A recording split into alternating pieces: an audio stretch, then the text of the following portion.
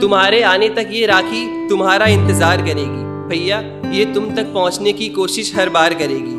कहीं तुम भूल तो नहीं गए, इस देश के जवान बनकर। तुम्हारा घर तुम्हें बुलाता है, चले आओ मेहमान बनकर।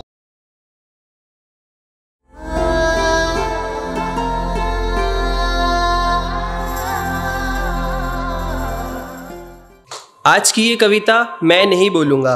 आज एक फौजी का परिवार बोलेगा। बोलेंगे उसके माँ बाप उसकी बहन बोलेगी, आज एक फौजी का प्यार बोलेगा। तो अब देखते हैं कि एक फौजी की माँ उससे क्या कहती है। जो बेटा, वो अपनी माँ से सर, कितनी दूर सरहद पर है, उसकी माँ उसे क्या कहना चाहती है कि, बेटा, तेरे जाने पर भी ये घर वैसे ही चलता है। यहाँ आज भी रोटी बनती है, यहाँ आज भी चूल्हा जलता है।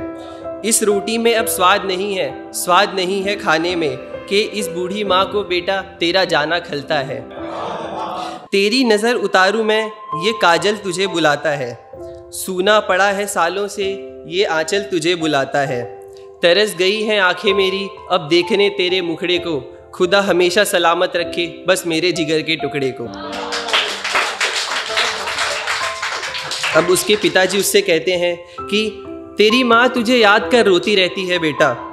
मैं उसके पास जाकर उसे चुप करा लेता हूँ। कभी कभी वो मेरी बात मानकर चुप हो जाती है कभी कभी दो चार आँसू मैं भी बहा लेता हूँ। पर याद रखना बेटा, तुझे पत्थर से हर ईट का जवाब देना है, सरहद पर चलने वाली हर एक गोली का हिसाब देना है।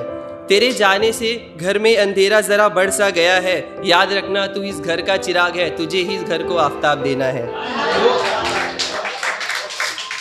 अब उसकी बहन उससे कहती है कि भैया, तुम मुझे याद कर लेना अपनी सुनी कलाई देखकर। मैं भी तुम्हें याद कर लूँगी तुम्हारी पसंदीदा मिठाई देखकर। तो क्या हुआ इस रक्षाबंधन? हम साथ नहीं एक दूसरे के। मेरा सीना गर्व से चौड़ा होगा एक वर्दी में अपना भाई देखकर।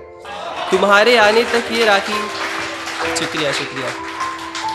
के तुम्हारे आने तक ये राखी तुम्हारा इंतज़ार करेगी। भैया, ये तुम तक पहुँचने की कोशिश हर बार करेगी। कहीं तुम भूल तो नहीं गए? इस देश के जवान बनकर तुम्हारा घर तुम्हें बुलाता है। चले आओ मेहमान बनकर। थैंक यू सो मच अब अब फाइनली उसकी बीवी उससे कहती है, क्यों तुम इतना दूर चले गए मुझे अकेला छोड़कर? दिन खफा हो गए हैं मुझसे, रातें बैठी हैं मुँह मोड़कर। उम्मीद लगाए बैठी हूँ, तुम जल्दी मिलने आओगे। तब तक बस आहें भरती हूँ इस दिल के टुकड़े जोड़कर। आखिरी लाइन ध्यान से सुनिएगा।